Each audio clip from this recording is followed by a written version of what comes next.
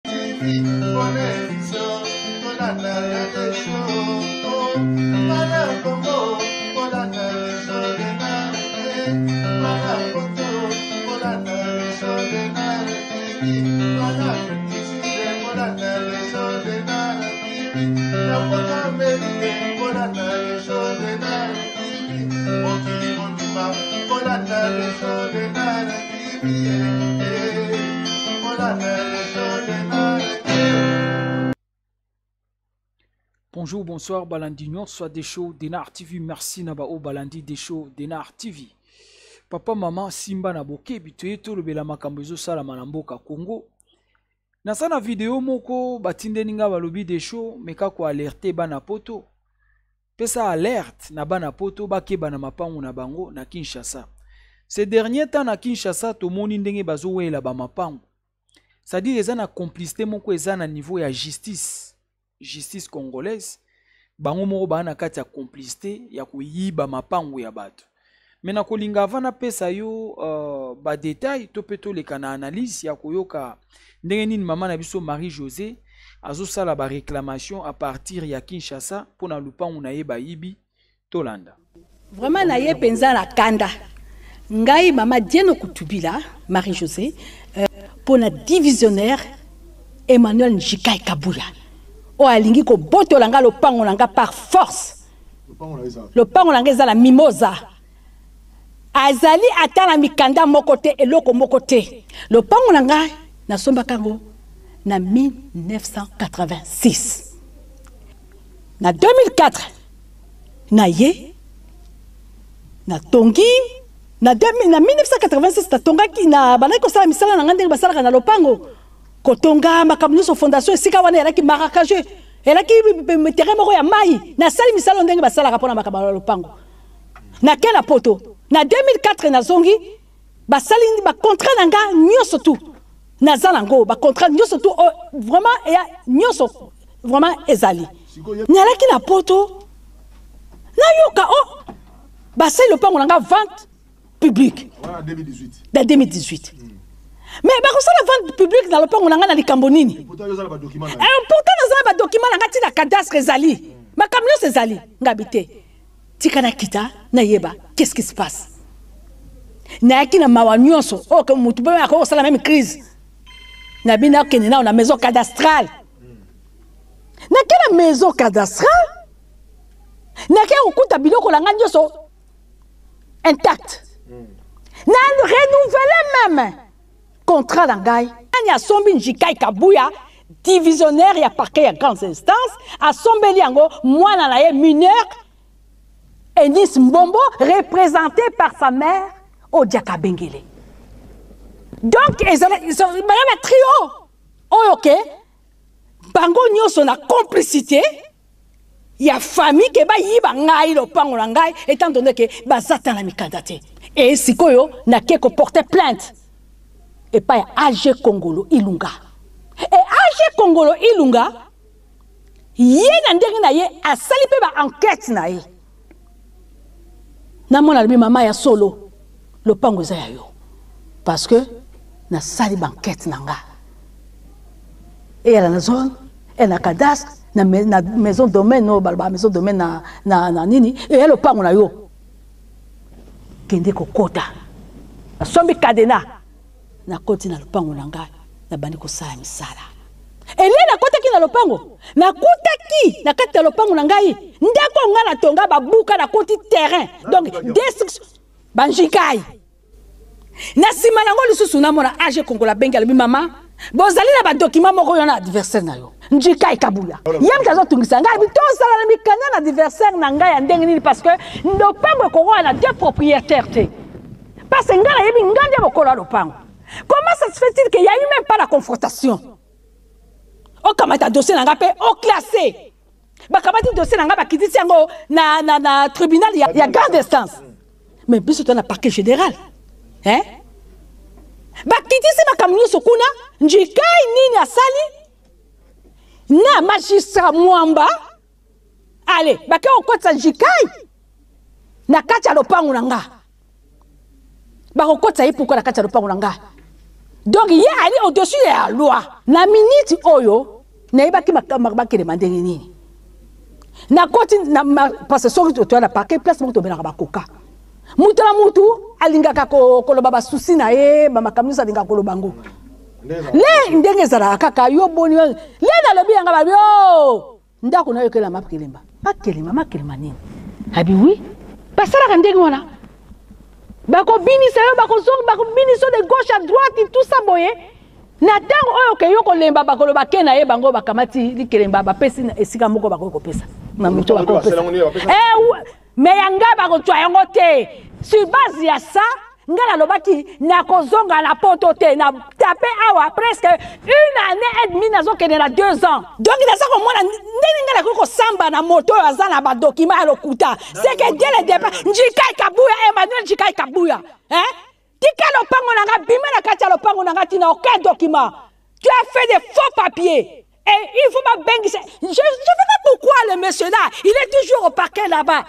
Des grandes distances. Pourquoi qu'est-ce qu'il fait? Hier, il m'a causé moto, si m'a béco. Azako sala biloko ya boye. mais ako pratique toujours eh, makambo ya mabe fo alongwa na place wana nalembi natiki mama na ngai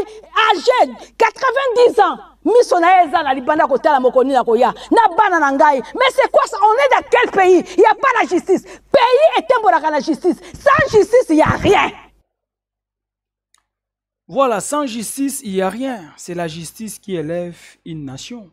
Na olinga vana pesa ba développement nanga. Naza na simple question ya kotuna. Est-ce que na RDCP toza na justice? Question kaka. Na RDC toza na justice? Ou bien eza kaka kombo nde bakoma justice? mais est-ce que eza vraiment institution de la justice lokola tomonaka mpe na bapays mosusu c'est juste question mpo na rdc justice oyo eza na rdc ezala oza nani soki oye na problème no na justice ya rdc okolonga te c'est-à-dire justice wana eza conçu kaka mpo na bafamille moko boye eza kaka juste mpo eprotege bafamille moko boye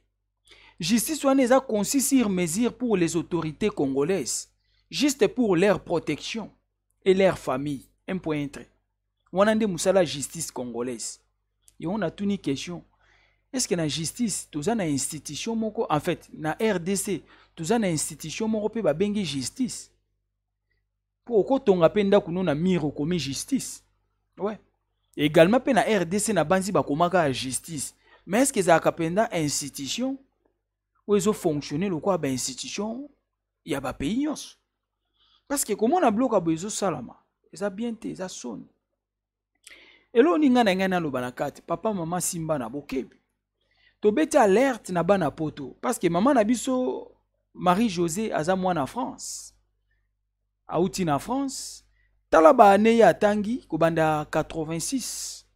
2004 azali na mboka 2018 mbutu mbutu ekoti lelo awa lupangu na ye batiaki na vente publique tokolinga to alerte ndeko kote yo ozwami soki okolanda mpe biso soki ozalaka na poto kote nyonso yo ozali bandeko nyonso oyo babima na congo eza kaka poto te ndeko nyonso oyo obima na congo kote okolanda nga soki ozalaka na lupango na rdc papa mama luka mwa yo okende na congo okende osala mise à jour ya badocument parcellaire na yo mise à jour ça veut dire okende kosala nanu verification ya kotya ata bakashe ya sika ke wi verifie oke verifie oke leka na bacadastre na bacommune kaka ndenge mama na biso marie josé alobi ekoki kozala bien soki oza na possibilité okende na rdc te luka otinda famille yaya bakende osala elo mise à jour de livre parcellaire c'est-à-dire baleka na baservice wana nyonso bakende ozwa banouveau cachet sinon pas oko tombe na même problème que maman na biso oyebi zela na explique yo problème maman alobi c'est à dire justice wana ndenge ozomona eza conçu entre e kaka mpo na bango bango na bango na kati bazozwa mapango ya bato bazotya na vente publique moto akosomba eza moninga na bango ntango moninga na bango akosomba yokolo eloko ntango koya oya na dossier mpa na bango na justice baolalisa okao bapesi moninga na bango cetadire baosala likelemba soki turu oyo bameli lupango ya motu tel bapesi na oyo soki turu oyo bameli ya tel bapesi na oyo yaya bato bazwi mapango ya bato ebele bakomi na ba 5 10 villa ou parcelle na kinshasa basomba te ya komela ya ofele yeba mwana poto depuis baane nyonso asali na poto yaya na pasi na malili na mbula okangisa bambongo osomba lupango kaka ndenge alobi so oza na motema te okopike crise okufi cestadire bato oyo eza lokola nde nizi yana peso exemple moko simple mpo comprendre omoi ntango tokokola na kinshasa ezali na bamiyibi moko basalaka groupe na bango baobeta karte ya mondele yeyo alakisi oyo atie na se apanzi pona soki ole ole mbongo ntango tozalaki nanu vraiment mwa esprit ya mike ya bana mike toandaki koyeba te baa bamiyibi basali bande bazokosa bato yo mpo okoya obi ah moto ya ye ale nga mpe natya nalia double mpo nakende osomba biloko na ya nango mposa nzoka bato oyo nyonso batelemi wana miyibi ye akobeta ale to ale te yo obi ah mais falaka mpona oyo babi yo mpona ntango yo opona boye yo oganye bainfluence uh, mémoire na yo etention na yo ntango okobeta baleo mbongo oleli nde mona justice oyo justice oyo ndenge ozomona bango nyonso ndenge baza wana o oh, baprocureur bamagistrat baavocat je ne sais pas bajuge bango tout même bande même bande c'est-à-dire ntango ozoya na dossier no erreur même bande na moto ozoya kofunda na esika oye kotika dossier bango tout groupe moko c'est-à-dire ntango oyo opesi bango dossier baoseka o oh. baolalisa okao mama obi tosambi te jugement kuta esalami te dossier nini classé justice ya congo depuis joseph kabila est là natikali komona mutu moko te asambi mpe alongi na justice ya congo bato oyo baolonga eza kaka baautorité de l'état bango nde baolonga na bato ya mbongo soki oza simple citoyen pauvre citoyen congolais oke na justice congolaise tu n'as pas la réponse tu n'as pas la réponse c'est-à-dire yo oke komikotisa na monoko ya ngando donc ezosala mawa mpasi na soni yango olinga natuna est ce que na rdc toza na gouvernement avec ces institutions ou bien eza kaka groupe ya babandi groupe ya baoccupant ils se sont rassemblés comploter contre la rdc bakangi mboka est ce que eza kaka groupe ya alibaba et les 40 voleurs basangani bakanga rdc ou bien eza mike, nani mikombe et les démons c'est juste question à savoir mpo ezosala mpasi ezosala mpasi c'est la justice qui élève une nation sans justice mboka eza te me biso sikoyo na mboka na biso justice eza te ba institution mpe ezosala te eza kaka bakombo bakomi komi me na kati kuna eza oyo bakomi libanda te bakomi justice me soki okoti na kati erreur oke komikaba sadi bazosala makelemba ya mapango ya bato soki babotoli ndenge wana bapesi magistrat oyo soki babotoli bapesi procureur soki babotoli bapesi je ne sais pas juge bazokabola e bango nde baozwa wana bayebi ke eza baparcelle moko to mpe bamapango moko problématique baogarde yango te baoluka barevendre yango toopesa vigilance bandeko nyonso bolandaka de show actuellement euh, nous sommes dans une période où les pays traversent euh, une situation très difficile nous sommes dans une période où notre pays traverse une situation très très difficile eza moma yo okoki esomba lupangu te yaya so oke esomba lupangu na rdc soki kaka okoki lupangu wana eza ya motu tel tel atekelaka tel tel tel kosomba te nous sommes dans une période où le pays est en jungle le pays est dans le chaos bato wana nyonso nde baosala bongo bayebi ke dans le peu de temps baopanzana ntango bakokima yo osombaka lupango mpa procureur procureur amelaka lupango ya bato ndenge mama azo reklame lupango ne lobi ntango guverneme ekochange mama ozala na mposa azwa lupango wana bakozongisela ye yango mpo bango bayebi ke bazoyiba bakogarde yango te bakoluka ateka mpo ayebi ke eza biloko ya lokuta ya moyibi eza babien malaki ntango akoteka mbongo wana azwi akesomba sikoyo lupango ya bien mena bazoyiba bamapango ya bana ya poto bakotekela yango suka ya mwana ya poto lobi kuna ntango mambo ekochange bakoya kobotola yo oyo aza na mato ya koyoka sai nini oyoki yaya nous sommes dans une période où notre pays va mal komeka kosomba lupangu te à l'heure actuelle bomba mbongo na yo ya passe bomba mbongo ya souffrance soki okosomba ata terrain peut-être bien otonga yo moko mekeba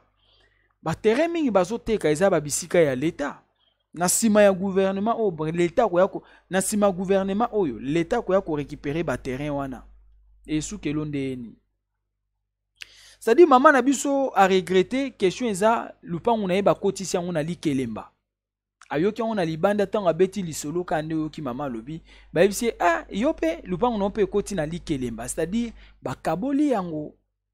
parce que ye moma bakosaki ye neti bazongisi maye moma donne babengi ye babi mama yaka boza na badocument identique badocument mama eza ya 86 ekozala identique ndenge nini na moto oyo asombi lupango awa na ba 2018 2020 ekozala identique ndenge nini c'est-à-dire bato wana bayebi makambo baosala moto oyo asomba lupangu na 86 na oyo aye kosomba lupangu sikoyo na 2000 na fete na 2020 awa soki 2018 azwi mikanda wapi me babini baa na badokima identique moto oyo atekelaka mama ye nde areproduire même document identique oyo atekelaka mama nde atekeli moto mosusu point d'interrogation orke moto asombi yango asombi mpe na ndenge na ye bake na justice justice asali baankete na ye balobi ke wi totali lopango eza ya yo zwa ma ya moma donne babiyaka boza na badocument identique bakoteli motu na bango omoni nde likelembe ekende basimbisi yo kaka touche bakoteli motu na bango bazwi dossier classe jugement kuta esalami te conforta nani comment dirais-je euh, confrontation esalami te bazwi dossier bosambi te bazwi dossier esuki wana cestadire papa mama keba bandeko oyo bosomba mapango na kinshasa luka otinda famille basalelo mise à jour bakende na cadastre baleka na commune baleka na baservice wana nyonso hotel de ville partout kote yo oyebi ntango osala ye bademarche bakende kozwelo banouveau cache bacertifie ke wi lopango wana ezodemere toujours na nkombo na yo sinon pas okogarde mikanda na poto kuna basalela yo bakopi identique bateki lopango sanke yo oyeba